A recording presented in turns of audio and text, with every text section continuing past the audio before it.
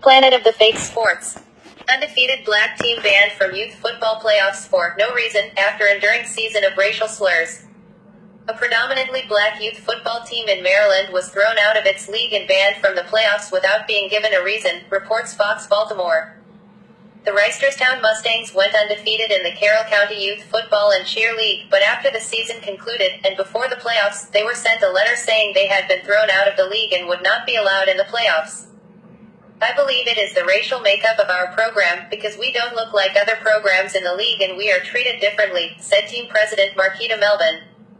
When you don't give us a reason, the only thing it has to do with the makeup of our organization because our organization is predominantly black from top to bottom. Reisterstown Mustangs team president Melvin said the children had to endure being called racial slurs during their undefeated romp. The league cited vague behavioral concerns and said the children would risk the safety of the majority white teams because emotions tend to run high during playoffs.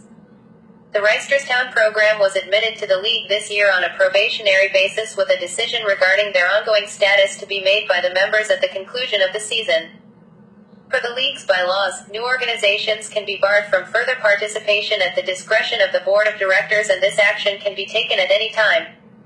There have been several behavioral concerns involving this program during the season and tension related to how these occurrences were handled has been rising.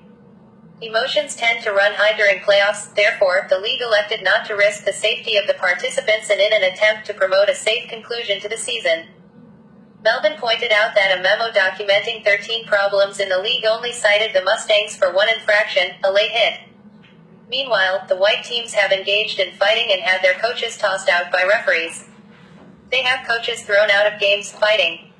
Clearly, there is a bias against us, there is a bias against people who look like us, and that's clearly been taken out on our children, she said. If you're going to discriminate against them, kick them out, not let them have their fair shake. You're not living up to what you say your true purpose is. Other parents took to Facebook to share their concerns.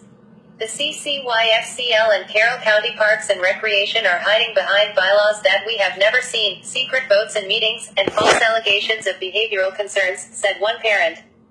Like, follow, share, comment, subscribe. And visit www.amor-ica.com.